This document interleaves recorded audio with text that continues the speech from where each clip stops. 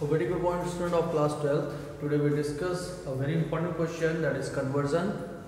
This is very important for the examination point of view because it comes around about a 3 marks question in the exam.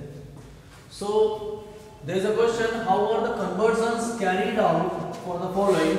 The first one is propane to propan-2-ol. That means to say you have to convert a alkane group to alcoholic group okay? But the number of remain number of carbon should be remains same. We have not to reduce the number of carbon and we are not going to increase the number of carbons during this conversion. Okay?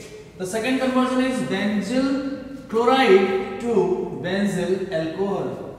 We have to just convert or replace the chlorine with the OH group okay? Now just come to the first conversion propane to propan-2-ol the first we have to take a propane. This is a basically a alkane which having a single carbon bond.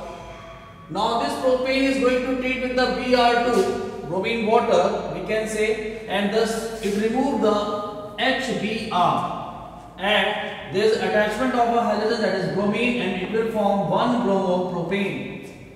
Now we are using a very smart we can say reagent that is alcoholic KOH what it do it just do the dehydrohalogenation. It can remove the halogen and the halogen along with the hydrogen. That's why it is used for the dehydrohalogenation reaction.